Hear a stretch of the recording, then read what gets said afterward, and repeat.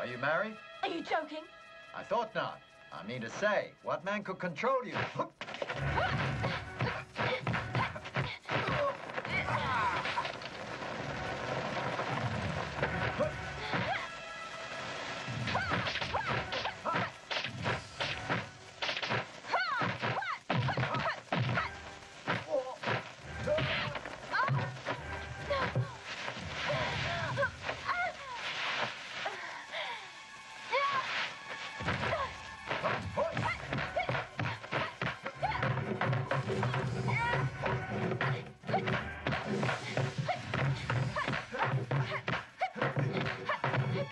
Oh.